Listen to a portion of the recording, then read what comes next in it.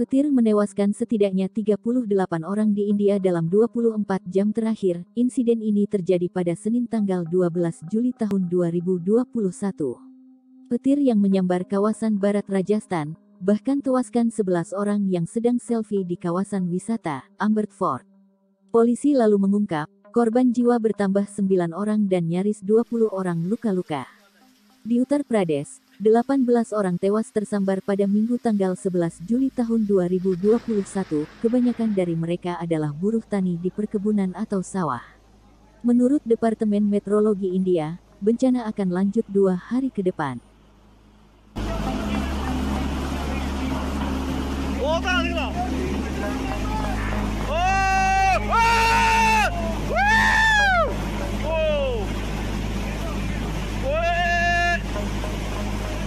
Với.